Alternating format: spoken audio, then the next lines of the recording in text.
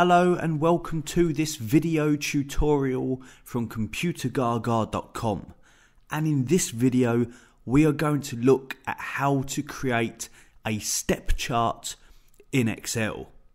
So I have this example on screen with a line graph and a step chart side by side to try and visualize the difference between them and some of the benefits that you may see with step charts.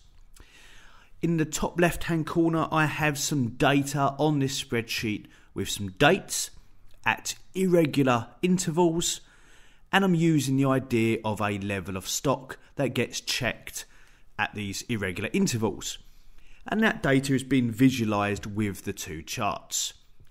Now, the line graph is not a great representation of what's going on there whereas the step chart is probably a better representation of that because we can see the exact times that these checks take place and also a better idea of how many times these checks take place. So it's not a gradual process which a line graph is probably better at presenting that trend over time. These stock checks happen at irregular intervals, and the step chart is a better example of exactly when these stock movements happened and the effect that they have on the data, especially when you look at those last few months. When you look at the data, and you can see that on the 26th of October, then only again on the 2nd of December, and again on the 18th of January. So there are huge gaps between that data, and how the line graph shows it as a gradual process, whereas the step chart here, you can see how the data doesn't change, and then there is that increase in stock level, then it doesn't change for a while until the next increase, as a better presentation of it. So let's have a look at how to create one of these step charts. So here we are with the sample set of data and this will be a nice and quick process to do and I'll try and explain in detail uh, exactly how it works afterwards. What we will need to do is create a separate range of data for this chart.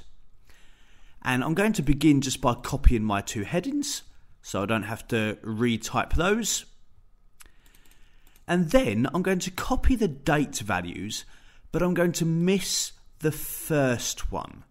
So I'm starting from row 3 here with the 20th of August down to the bottom. And I will copy and paste those into my new data range. And then with the values, I'm going to start from the first one in row 2, but select down to the second from last in row 9 there and I'm going to copy and paste those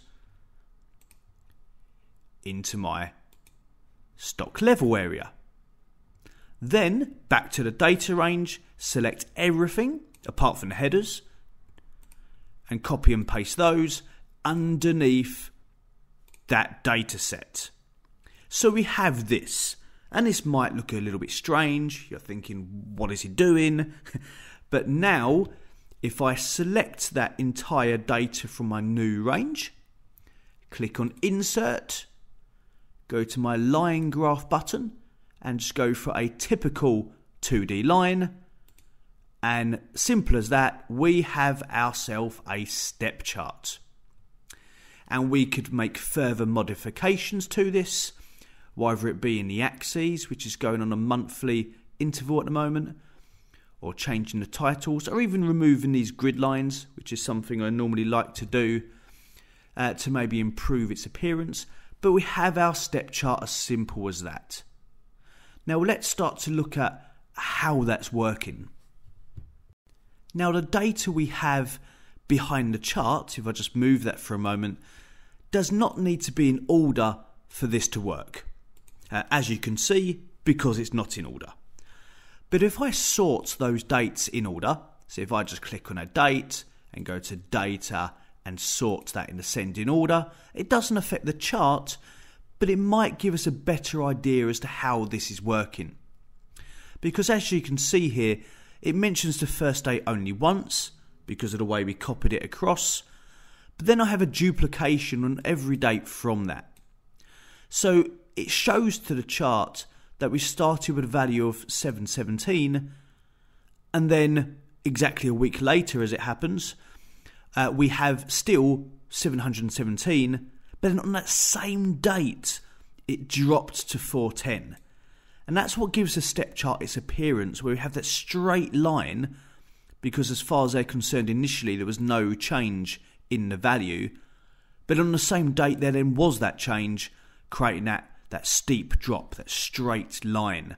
Whereas the line graph would have shown it as a gradual process, like a direct line between A to B at an angle, which is maybe not a true reflection of what really happened then. And that's how it works because we've got the two data, one showing the no change in value and then the change, creates that step effect. I hope you found this video useful. Please check out some of our other videos on our YouTube channel and come check us out at computergaga.com.